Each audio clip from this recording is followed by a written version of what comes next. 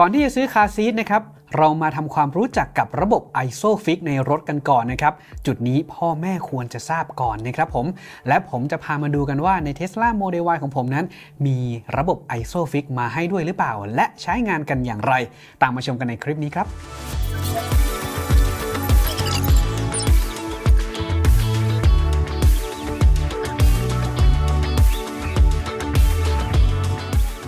สวัสดีครับ ผมต้อมไอมดนะครับ หลายๆ คนคงจะได้เห็นข่าวตามช่องทางต่างๆ ไม่ว่าจะเป็นทีวี หรือว่าออนไลน์นะฮะ ที่มีการพูดถึงเรื่องของการบังคับใช้กฎหมายเกี่ยวกับคาซีทนะครับ หรือว่าที่นั่งของเด็กนะฮะ โดยเขาจะบังคับว่าเด็กตั้งแต่แรกเกิดไปจนถึง 6 ปี จะต้องนั่งคาซีทนะครับผมถ้าไม่งั้นจะมีค่าปรับ ซึ่งคาดว่าจะมีผลบังคับใช้กฎหมายนี้นะครับในช่วงต้นเดือนกันยายนของปี 2565 ที่กำลังจะถึงนี้นะครับ คราวนี้เรามาทำความรู้จักกับระบบ ISOFIX ที่ผมได้เกริ่นไว้ก่อนหน้านี้นะครับว่าคืออะไร ISOFIX คือระบบการติดตั้งคาซีทมาตรฐานสากลครับ เป็นมาตรฐานของ International Organization for Standardization นะครับหรือเรียกสั้นๆว่า ISO ที่เป็นมาตรฐานบังคับใช้กันอย่างแพร่หลายทั่วโลกครับ ทั้งยุโรป ญี่ปุ่นสหรัฐอเมริกานะครับผมแต่ว่าในแต่ละที่นั้นอาจจะมีชื่อเรียกที่แตกต่างกันออกไปนะครับ ระบบ ISOFIX นะครับอาจจะถูกเรียกเป็นอีกอย่าง อย่างเช่น UC SSS หรือว่า Universal Child Safety Seat System นะครับส่วนในสหรัฐจะเรียกว่า Latch นะครับหรือว่า Lower Anchor and Tether for Children นะครับส่วนทางฝั่งของแคนาดานะครับจะเรียกว่า CanFix ซึ่งทั้ง 4 ชื่อที่เรียกออกมานะครับผมแม้ว่าชื่อเรียกจะแตกต่างกัน แต่ว่าหน้าที่สำคัญนะฮะนั่นก็คือมาตรฐานของที่ติดตั้งคาซีทโดย ISOFIX นะครับผมหากเราไปสังเกตที่เบาะหลังของคนนั่งนะครับผมในรถยนต์รุ่นใหม่ๆนะครับถ้าเป็นฝั่งของทางฝั่งรถยุโรปอเมริกานั้นทุกคันน่าจะมีมาให้ทั้งหมดเลยนะครับ ส่วนทางฝั่งของรถญี่ปุ่น ถ้าเป็นรถที่ใหม่กว่า 2014 ขึ้นมา จะมีระบบ ISOFIX ติดมาให้ครับ การสังเกตว่ารถคันไหนมี ISOFIX ให้ด้วยหรือเปล่านั้น ให้สังเกตที่เบาะหลังนะครับ ทั้งฝั่งคนนั่งนะฮะ จะมีสัญลักษณ์ ISOFIX กำกับเอาไว้อยู่นะครับ อย่างเทสลาของผมนะฮะ ถ้าเราเข้าไปดูด้านหลัง จะมีเม็ดกระดุมครับ ซึ่งจะเขียนเอาไว้ว่า ISOFIX นะครับ พอเรามองเข้าไปลึกๆในช่องด้านหลังนะครับ เป็นช่องของที่นั่งนะฮะ เราจะเห็นเป็นก้านเหล็กนะฮะที่ถูกดีไซน์ออกมาไว้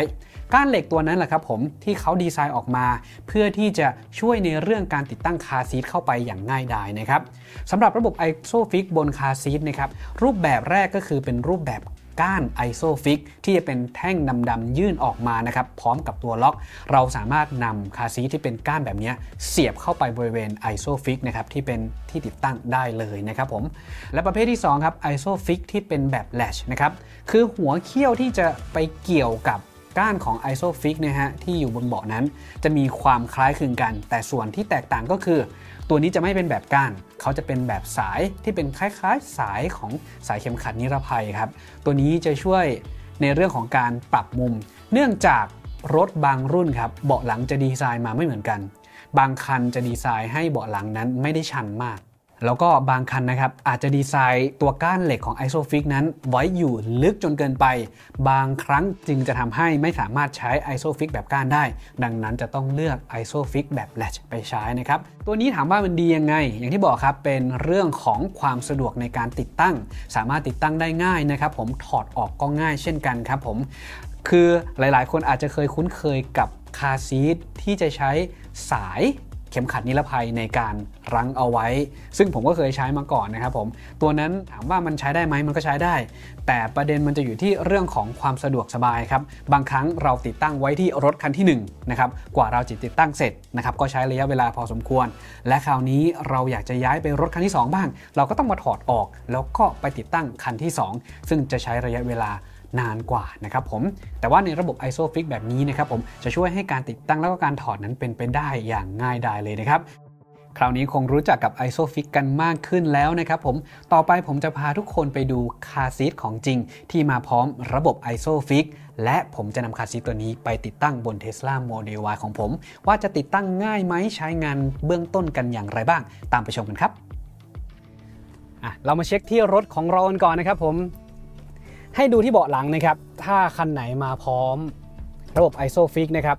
จะมีสัญลักษณ์ อย่างเช่น Tesla Model Y คันนี้นะครับ จะเป็นปุ่มกระดุมอยู่ที่บริเวณเบาะนั่ง ทั้งฝั่งซ้ายและฝั่งขวานะครับ แสดงว่าคันนี้มี ISOFIX อยู่ 2 จุด แล้วถ้าหากว่าเราก้มดูที่บริเวณนี้นะฮะ เราจะเห็นเหล็กนะครับผมที่เอาไว้สำหรับเกี่ยวคราวนี้รู้ละว่าอยู่ตรงไหนของรถนะครับ รถแต่ละรุ่นก็จะมีลักษณะคล้ายๆแบบนี้นะครับ บางรุ่นก็จะโผล่ออกมาให้เห็นเลยนะครับชัดเจน อันดับต่อมาครับให้ดูที่คาซีทของเราที่เลือกซื้อมานะครับ รุ่นนี้ก็จะมาพร้อมระบบ ISOFIX นะครับ ซึ่งแบบนี้ฮะเป็นยี่ห้อ Abramo นะครับผม ตัวนี้มันจะมีหลายรุ่นนะ แต่รุ่นที่ผมเลือกมาให้ชมนะฮะจะเป็นตัวนี้ก่อน ระบบ ISOFIX ของรุ่นนี้จะเป็นแบบก้านนะครับ ก้านตรงเลยนะฮะพับเก็บได้แบบนี้นะครับ และเราก็ดึงออกมาอย่างนี้นะครับ เพื่อที่จะให้ก้านของ ISOFIX ออกมานะครับผมถ้าเราจะเก็บนะครับ ก็ให้กดที่ปุ่มที่บริเวณตรงกลางนี้ แล้วก็พับเก็บออกมาแบบนี้นะครับคราวนี้เราจะติดตั้งอย่างไรนะครับ ง่ายมากๆเลยครับ ให้เล็งฮะให้เล็งให้มันตรงจุดของ ISOFIX นะครับแล้วก็ดันเข้าไปแบบนี้เลยครับเนี่ยเราจะได้ยินเสียงดังกรึบนะครับ ระบบก็จะอยู่ละเนี่ย car seat ตัวนี้ก็จะไม่หลุดออกมาแล้วนะครับ เพราะว่าโดนล็อกไว้เป็นที่เรียบร้อยแล้วนะครับ รุ่นนี้เนี่ยจะใช้งานพร้อมกับทางฝั่งของ seat belt เนื่องจากเป็น car seat สำหรับเด็กโตนะครับ ก็สามารถใส่ seat belt นะครับ หรือว่าเข็มขัดนิรภัยได้แบบนี้เลยนะครับ ล็อกได้แบบนี้เลยนะครับ นี่คือตัวอย่างของคาซีทที่มาพร้อมระบบ ISOFIX นะครับ คราวนี้ถ้าเราจะขยับมาอีกด้านหนึงแหละที่บอกว่าความสะดวกของเขาคืออะไรนะฮะ ถ้าเราจะถอดออกนะครับ ถอดจากที่นี่ก็กดที่ปุ่มนี้ครับมาด้านหลัง อะ ก็จะถอดออกมาง่ายๆอย่างนี้เลยฮะ นี่ครับ แล้วเราก็ขยับมาที่อีกเบาะด้านนึงนะครับ แล้วก็ใส่เข้าไปครับ แค่มือเดียวอ่าดันแบบนี้นะครับ มันก็จะดังกรึบเนี่ยใช้งานได้เลยนะครับผมและแน่นอนครับผมสำหรับ Tesla Model Y คันนี้นะครับ มีระบบ ISOFIX จำนวน 2 ที่นั่งครับ ได้แก่ที่นั่งด้านซ้ายแล้วก็ด้านขวานะครับ ของทางฝั่งคนนั่งด้านหลัง เราสามารถติดตั้งได้ทั้ง 2 ตัวเลยนะครับ แล้วเดี๋ยวในคลิปต่อไปนะฮะผมจะมาแนะนำว่าเราจะเลือก คาซีทแบบไหนให้เหมาะสมกับการใช้งานของเรานะครับ อย่างเช่นตัวอย่างตัวนี้เนี่ยก็จะเหมาะสำหรับเด็กที่มีอายุสูงนะครับผมอย่างเช่น 3 ขวบขึ้นไป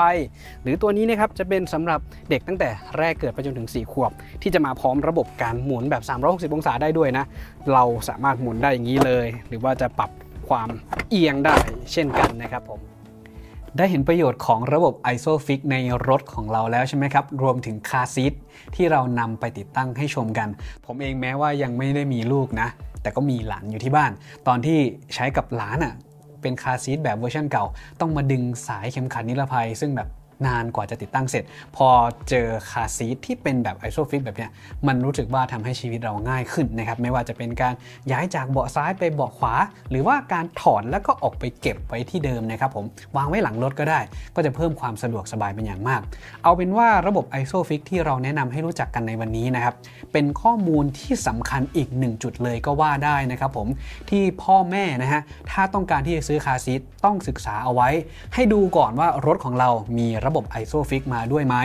ถ้ามีนะครับ และเราต้องการที่จะซื้อคาซีทดีๆ สักตัวหนึ่ง ก็ให้เลือกรุ่นที่มี ISOFIX มาด้วยนะครับ ผมว่าจะเป็นการลงทุนครั้งเดียวให้ใช้ได้ยาวๆเลยนะครับผมสำหรับในคลิปนี้ผมต้องไอมดขอตัวลาไปก่อนนะครับ ขอบคุณและสวัสดีครับ